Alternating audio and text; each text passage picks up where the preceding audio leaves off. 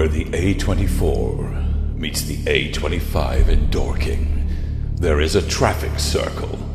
British people call it a roundabout. And on this roundabout there is a sculpture. A sculpture of a cockerel. And. It has been stolen. This is not so much a trailer as a jury summons. Your attendance at the courtrooms Well, well they're not so much courtrooms as, as village halls, really.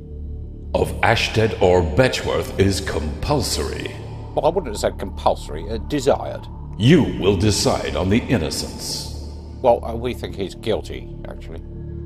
of the man charged with this petty theft. Well, it's more than a petty theft, isn't it? It's an abominable crime.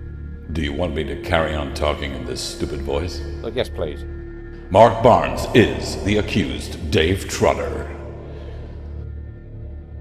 Wendy Strome, Bonnie Trotter, the wife of the accused.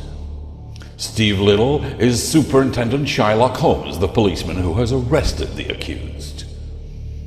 Carolyn Raymond, the prosecution counsel, the provocative Carolina Monet Gruber, who interrogates the accused in a very sexy way. Andrew Cross is Cedric Sneer QC, who thinks the accused is guilty as hell, but who defends him anyway because the accused is paying him a lot of money to do so.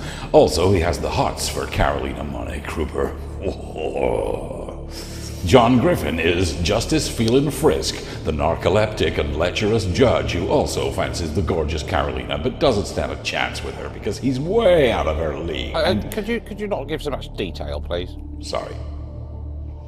Ian Allen is the narrator in A Cock and Bull Story in a Roundabout Way. Rally Room, Ashtead Peace Memorial Hall. Friday, October 23rd, 7.30, and Betchworth Village Hall. Saturday, October 24, also 7.30. Tickets 7.50 available now.